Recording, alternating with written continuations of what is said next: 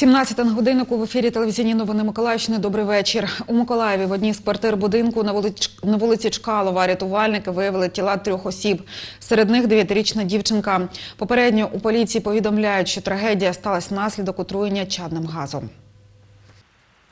Всі три члени сім'ї протягом доби не виходили на зв'язок. Співробітників ДСНС викликали рідні загиблих. Прибувши на місце події, рятувальники за допомогою спецобладнання через балкон потрапили до квартири.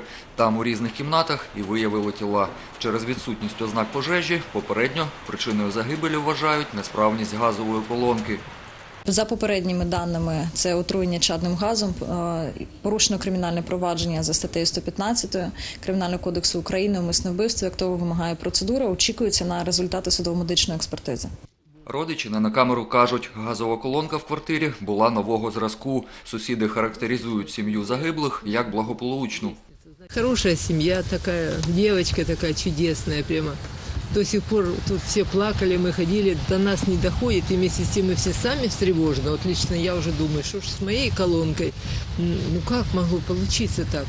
Наразі триває судово медична експертиза. За її результатами буде встановлена остаточна причина загибелі родини.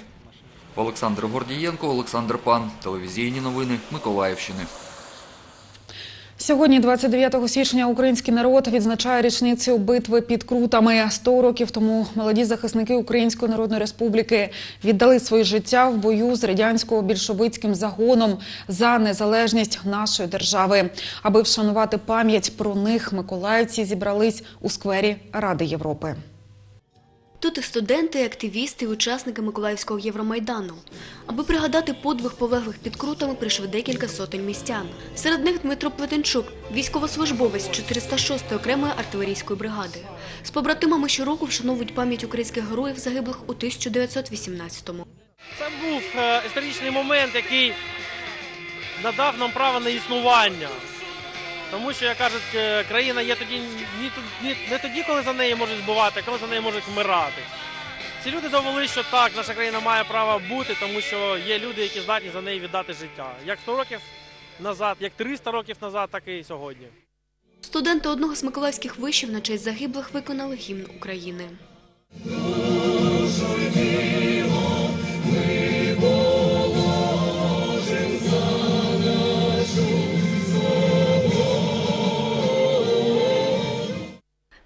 Хвилина мовчання.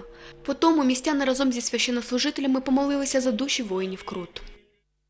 Душі раби твої встався у покой і прийми до блаженного життя.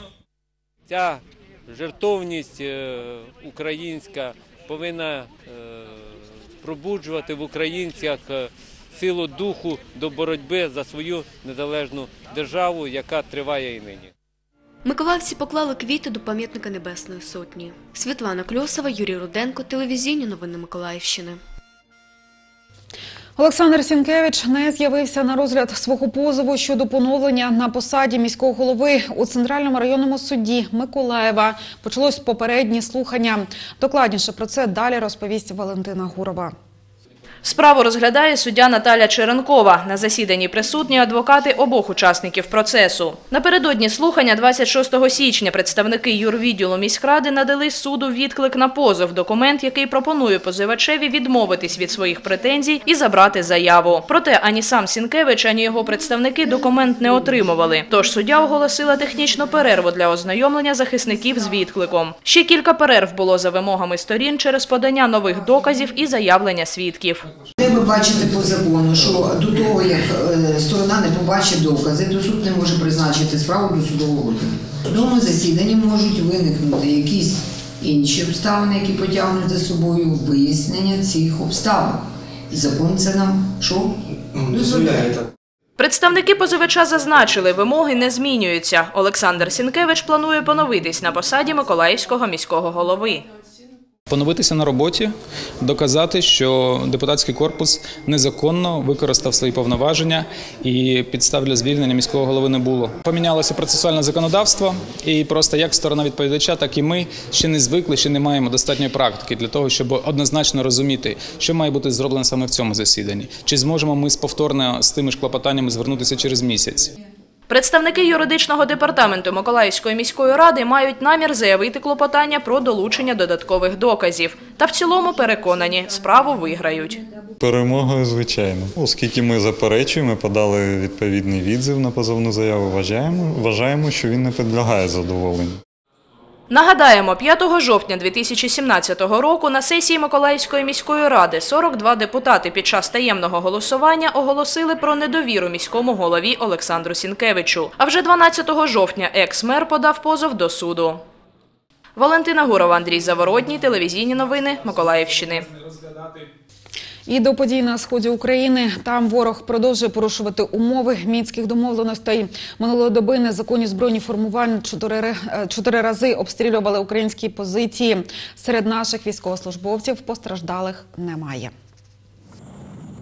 На Луганському напрямку у вечірній час бойовики активізувалися на Світлодарській дузі. Ворог зі 120-мм мінометів та великокаліберних кулеметів декілька разів вів вогонь довкола Луганського. Міномети цього ж калібру противник застосував по наших позиціях неподалік Троїцького. На Донецькому напрямку з гранатометів незаконні збройні формування обстрілювали опорні пункти сил антитерористичної операції біля Широкіного.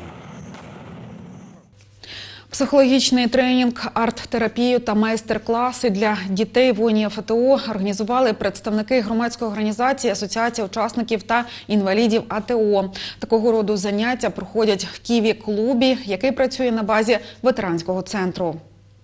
Дев'ятирічний Ілля є частим гостем в Ківі-клубі. Сюди привів його батько, учасник антитерористичної операції.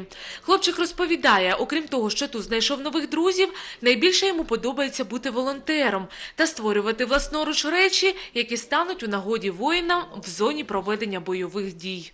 Мы сейчас плетем маскировные сетки для шлемов, для машин маскированных, для одежды, чтобы было меньше заметно врагу. Хлопець каже, виготовляти кікімору не складно, тим паче, коли допомагають друзі. Сначала мы, вот, смотрите, мы должны завязать узел, чтобы не выпадало. Потому что так противник узнает, что здесь кто-то есть. По следах найдет наших.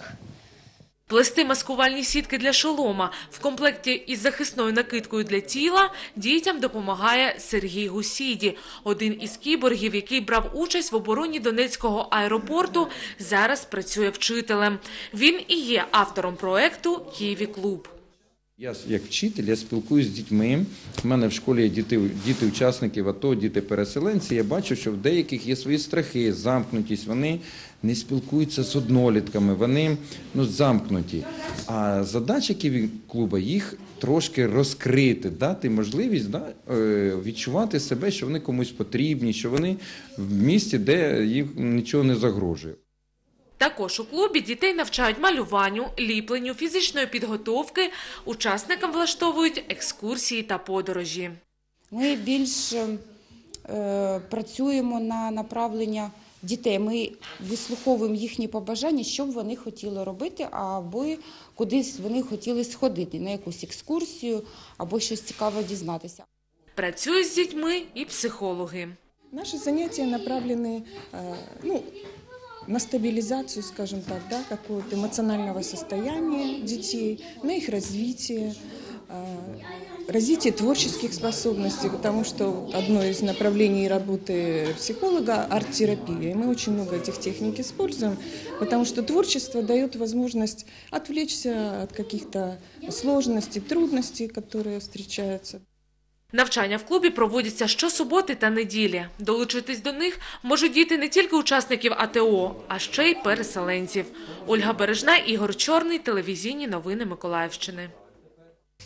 І на цю годину це вся- інформація. Більше новин о 19 Тоді побачимось.